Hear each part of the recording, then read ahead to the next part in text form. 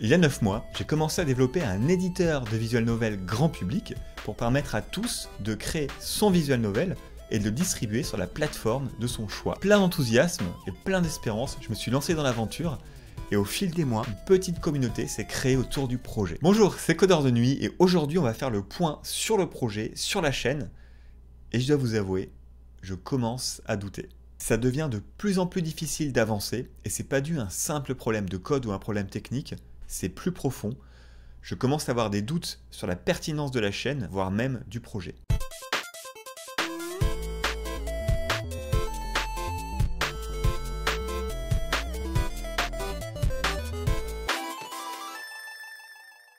L'objectif de la chaîne, c'était de rassembler une communauté derrière ce projet et d'avoir une estimation de la demande pour ce genre de projet. Il y a un peu moins d'un mois, il y a un membre de la communauté Discord qui m'a rejoint et il m'a aidé à décortiquer les stats YouTube et les tendances de recherche pour ce genre de projet. Or, d'après les stats et les tendances, il se trouve que le public potentiel est beaucoup plus faible qu'espéré.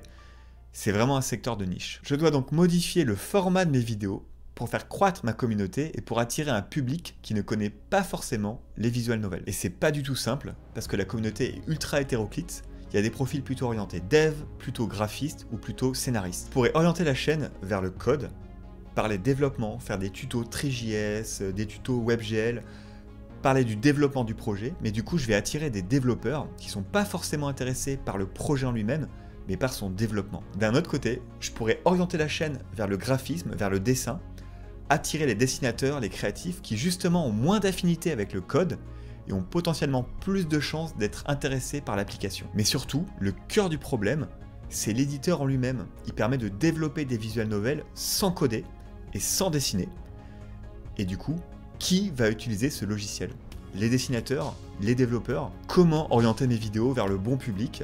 Et là, c'est vraiment difficile. J'ai pensé à une solution, orienter la chaîne vers les animes, les mangas, les visual novels, bref, devenir une chaîne culturelle et au passage vous donner envie de créer vos propres visual novels. Je dois faire un choix et pour ça, je dois mieux vous connaître. Et pour mieux comprendre ce que vous attendez du projet, Ophi et moi, on a créé un questionnaire. Il est simple, il est rapide et il va m'aider à orienter la chaîne. Et n'hésitez pas en commentaire à préciser si vous êtes plutôt team graphiste, team développeur, team scénariste à me donner des idées, des propositions. Plus j'aurai d'informations, plus je pourrai facilement orienter ma chaîne vers la bonne direction. Maintenant, on va parler de l'avancement du projet. J'ai quasiment terminé l'éditeur de scène. Je vais vous faire une petite démonstration rapide. J'ai créé des personnages. Chaque personnage a des apparences et des expressions. J'ai aussi composé différents décors.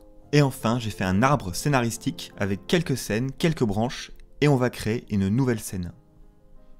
Je commence par ajouter un décor à la scène, Ensuite, j'ajoute deux personnages. Je sélectionne un personnage et je peux modifier son apparence et son expression parmi celles qui lui ont été attribuées. Je fais la même chose pour le second personnage et maintenant je vais rajouter un panneau de dialogue.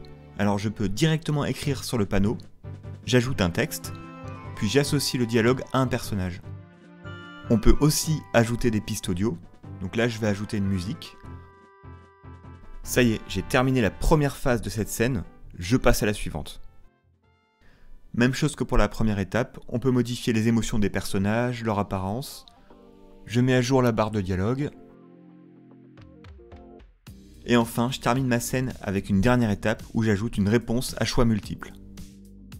On peut modifier, supprimer, ajouter de nouvelles réponses. Alors ça y est, j'ai terminé la scène, on a tous les éléments de base, le décor, les personnages, le son et les dialogues. Si on retourne sur l'arbre scénaristique, on peut voir que maintenant la scène a trois branches. Et si jamais par la suite vous souhaitez modifier une scène, par exemple vous voulez supprimer une réponse, automatiquement le nœud va se mettre à jour, la scène n'a plus que deux sorties. Au niveau de la personnalisation, vous pouvez totalement modifier l'interface graphique. Vous pouvez modifier la taille, la couleur, l'opacité, les fontes, la taille du texte, la position du label au niveau du personnage, et vous pouvez même ajouter ou euh, choisir des sprites pour vos panneaux. C'est la même chose au niveau des labels pour les noms des personnages. On peut personnaliser l'affichage du nom de chaque personnage. La typo, la couleur, la position, la rotation. Vous pouvez même utiliser directement une image. Tout est paramétrable. Si vous voulez faire un visual novel de type manga, vous pouvez. Voilà pour la première version du projet. Je vais accélérer pour sortir la première version pour le mois de mars. Je vais essayer de faire au mieux. Je dois trouver un compromis entre la vitesse et la qualité du code. Parce que si je rush un peu trop, bah, ça va se dégrader, je vais avoir du mal à maintenir et à faire évoluer le code. Donc je dois vraiment trouver un compromis, mais je vais essayer de sortir pour le mois de mars la première version. Évidemment, cette première version sera très basique, très simpliste, et elle sera réservée à une partie de ma communauté, histoire de faire débugger le projet, de voir ce qui va, ce qui va pas. Ça ne sera pas une version grand public. On arrive à la fin de cette vidéo, pensez au questionnaire. C'était Codeur de nuit, je vous dis à la prochaine. Salut